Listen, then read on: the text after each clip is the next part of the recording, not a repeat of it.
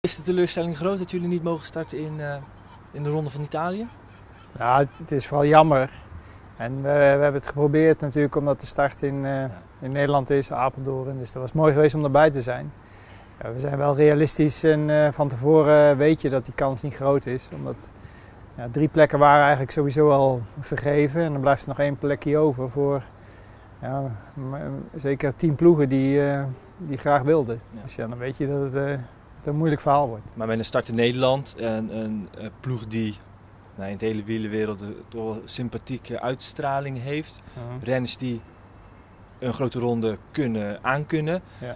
Maakt dat de kans natuurlijk uh, wel iets groter. Ja, maar daarom hebben we er ook op ingezet. Als we dachten van tevoren helemaal geen kans te maken, ja, dan ga je het niet eens proberen. Maar we hebben inderdaad met een Pieter Wening die ook uh, wel uitstraling heeft gehad in, in Italië. Roze truidrager, ex-roze truidrager.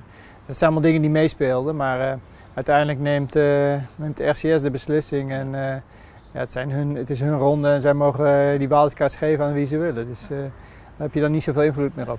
Gisteren zijn die bekend geworden.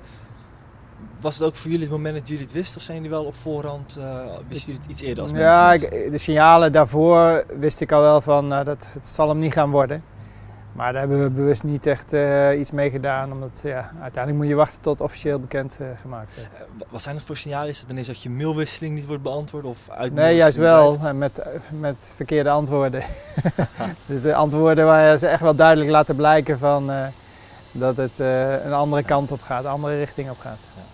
Hoe wordt er dan binnen het management op gereageerd van de andere ploegleiders? Uh, ja, we, we, zijn van het begin af aan, wat ik al zei, realistisch geweest dat die, uh, de kans groter was dat we niet zouden rijden dan wel. Dus het was alleen maar een plus geweest als het wel was gelukt. Ja.